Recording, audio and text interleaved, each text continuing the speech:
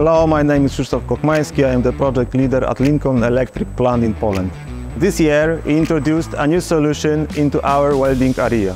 We identified that current manual welding of components was insufficient to meet our requirements. Conversely, implementing full automation wasn't economically feasible.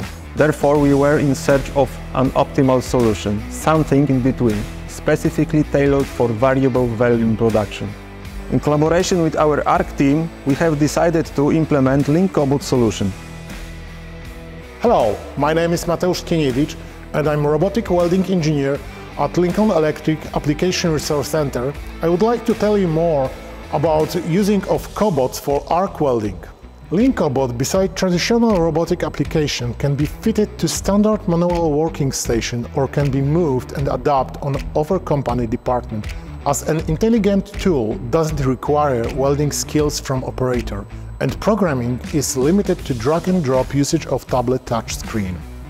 LincCobot as a ready-to-use solution comes with all required equipment integrated in one system.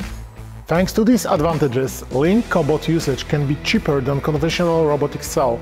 Final difference can grow from 25 up to 50% when considering all costs.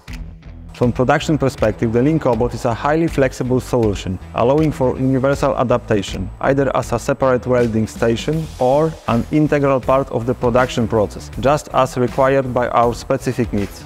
We came up with a solution which was a double station welding table. And thanks to this solution, we have achieved the following benefits.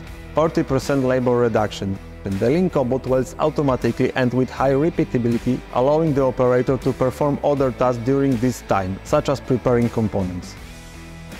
Here at Lincoln Electric, we are still working on improving our production process, so that we can supply our customers with the best quality welding equipment.